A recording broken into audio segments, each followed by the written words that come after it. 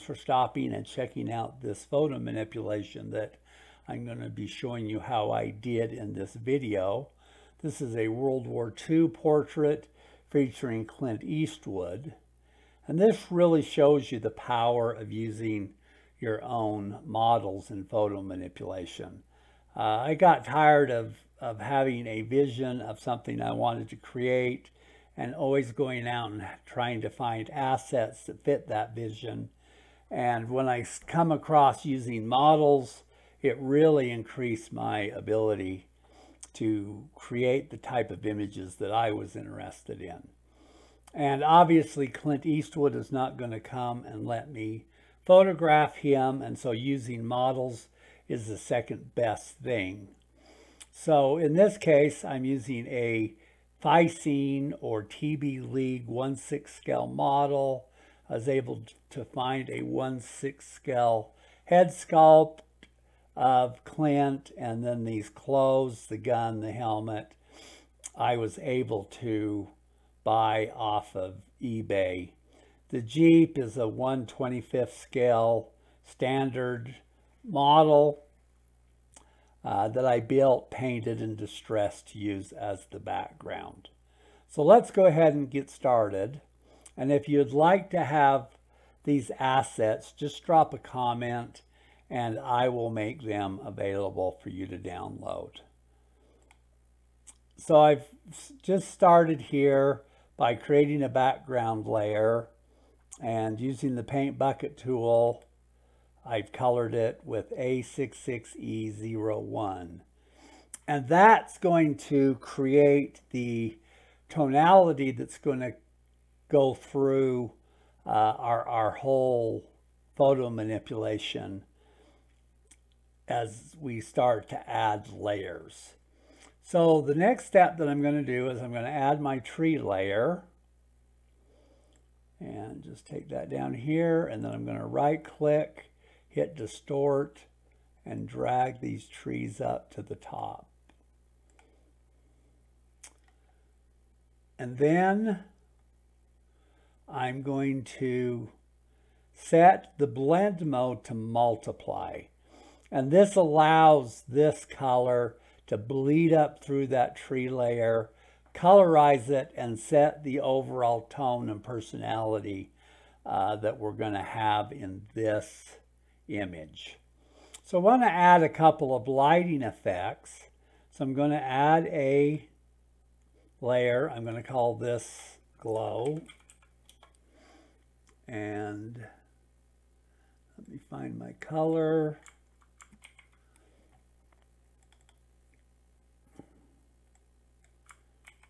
So we're going to go use FFA800.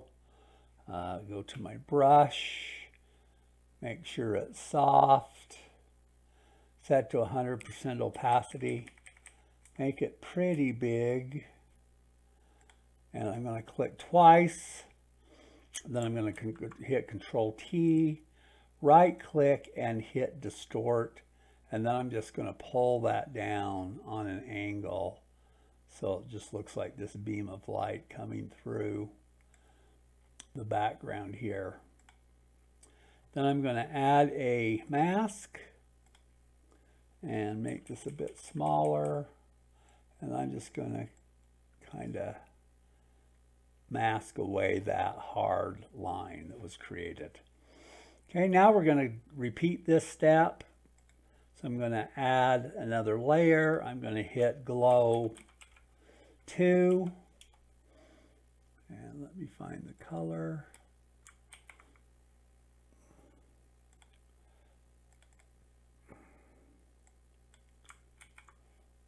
Use FFD88C.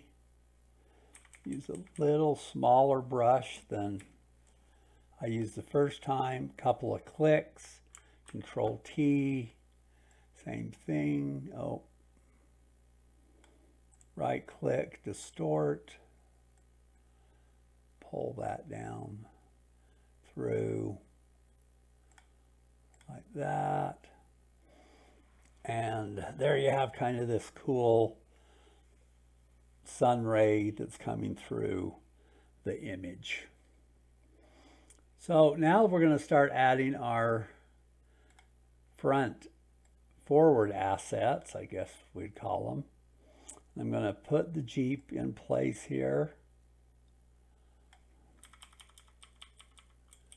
And you can you can use your arrow keys to kind of fine tune where you place things.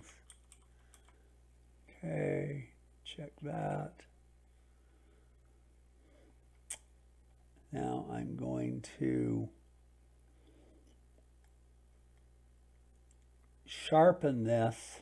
So I'm going to create a, a layer by just pulling that down to the plus, this, this layer down to the plus, or I could hit Control J. And then I'm going to go up to Filter, and I'm going to go to Other, and I'm going to go to High Pass. And the setting of this affects the way it sharpens. And it, there's no precise number. Every image is a little bit different depending on the image quality, you know, pixels, that type of thing. Um, but for this one, right around 9.8 looks pretty good. I'm going to hit OK, and then I'm going to hit the blending mode to overlay. And you can see how much clearer these numbers are. And I want to do it even more, so I'm actually just going to copy this layer to add a double sharpening and you can see how it's even done that even more. Now to bring this Jeep more into line with the coloring of the background, I'm going to add a color balance. And I'm going to set red up to around 28 magenta down around 7 and yellow down around here around 27 just to get that more in the cone and then let me make sure it's a clipping mask and so you can click right here or you can hit the alt key and come right here and click and make that a clipping mask so that that this effect will only affect this layer.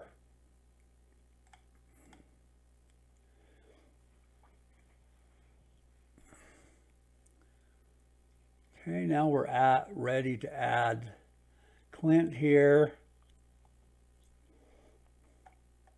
And we're going to need to make him bigger.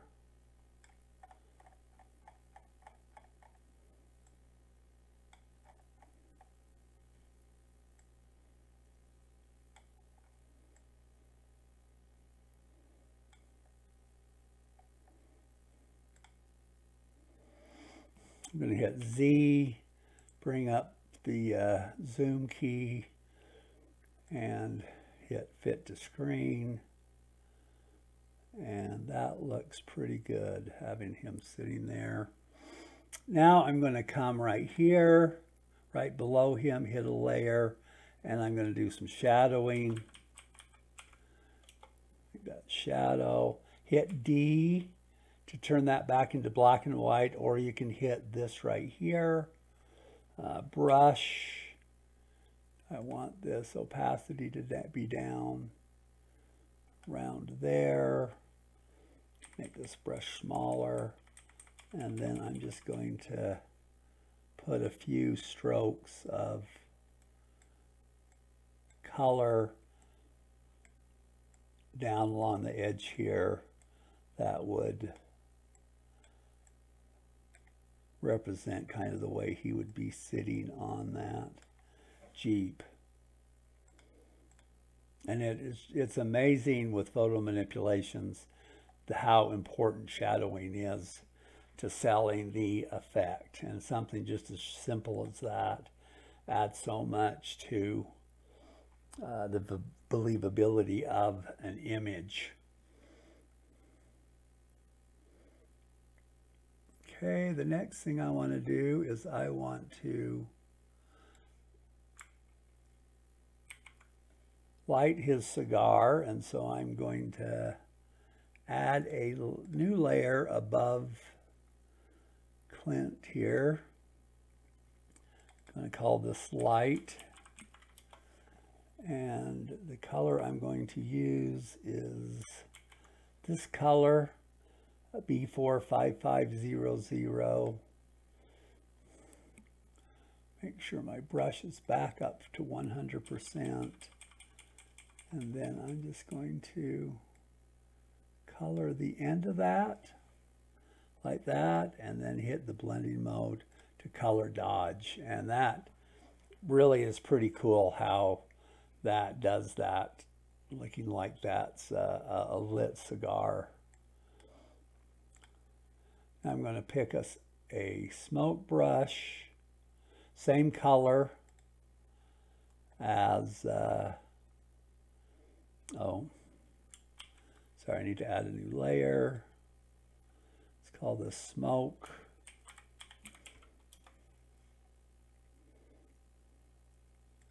click that. And then I'm just going to rotate it a bit, reposition it, to kind of get it out of his face.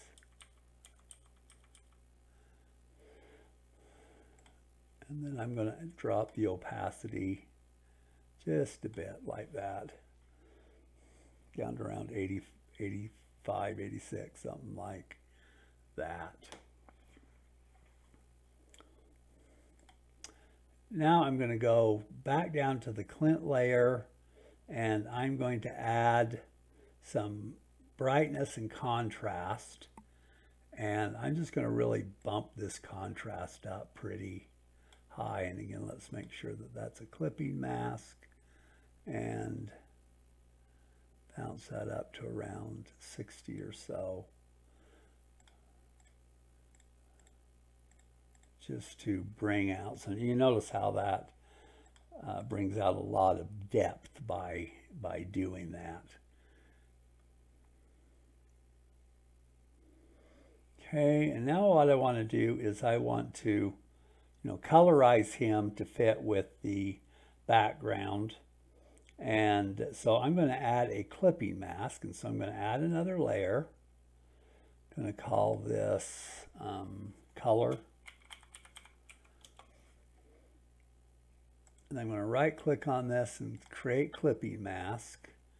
And then find the color that I'm using.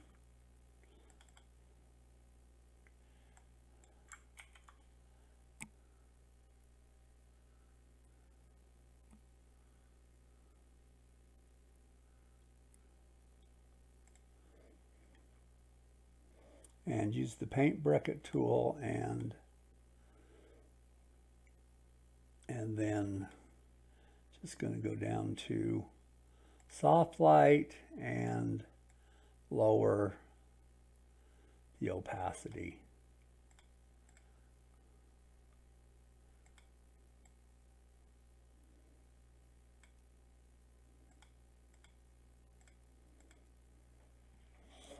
Right about there looks pretty good. Okay, now because we have this light coming in here, I want to enhance kind of the lighting that's coming into him. And so I'm going to create another clipping mask and uh, create clipping mask. I'm kind of going to call this rim light.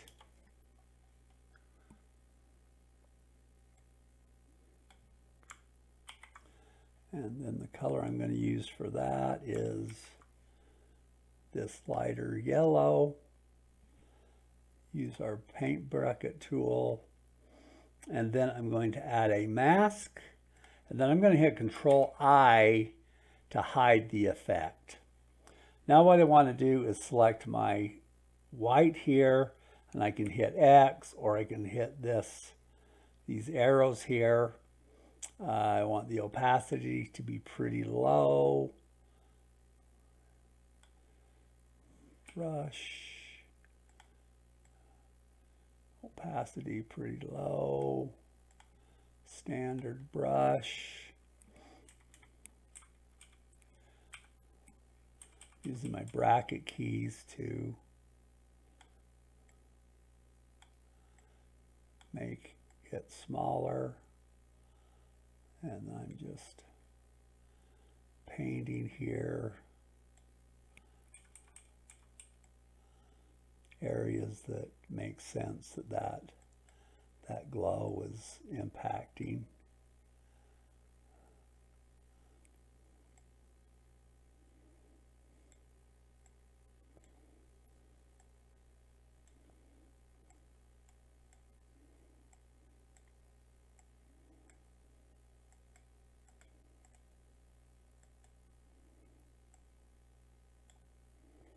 And let's see how that looks.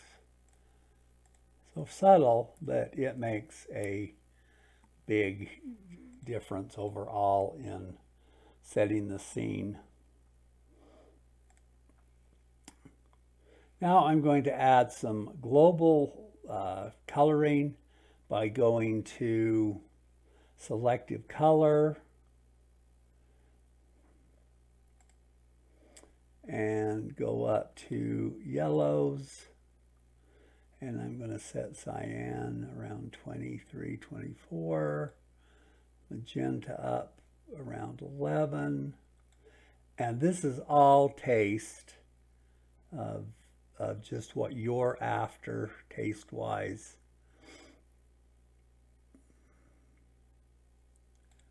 And then I'm going to darken it up a titch. Again, just to add a little more contrast down around 14, 15. Then I'm going to go to neutrals and bump up the cyan a little bit. Or actually drop that down just a hair. Magenta up to about four or five.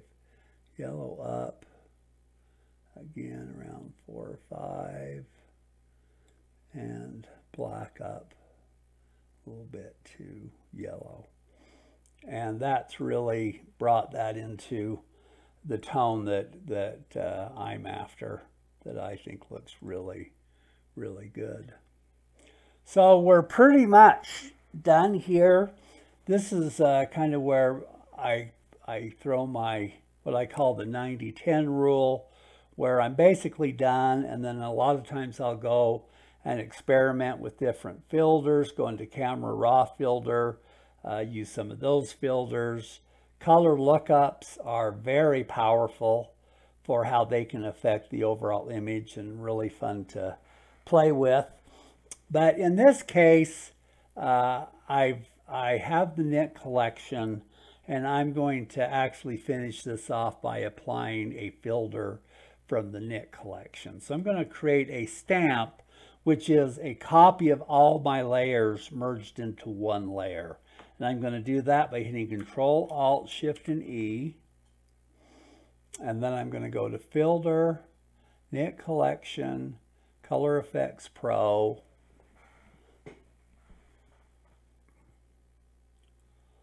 And I'm in the recipes here. And a recipe that I use fairly frequently is Super Punch. And it adds a lot of detail and kind of a dodge and burn effect that uh, I really, really like as a finished product here. So I'm going to hit OK and finish this portrait of Clint Eastwood in a World War II scene. And I really appreciate anyone who has watched the entire video. I hope maybe you've learned a couple things that you can use in your own photo manipulations.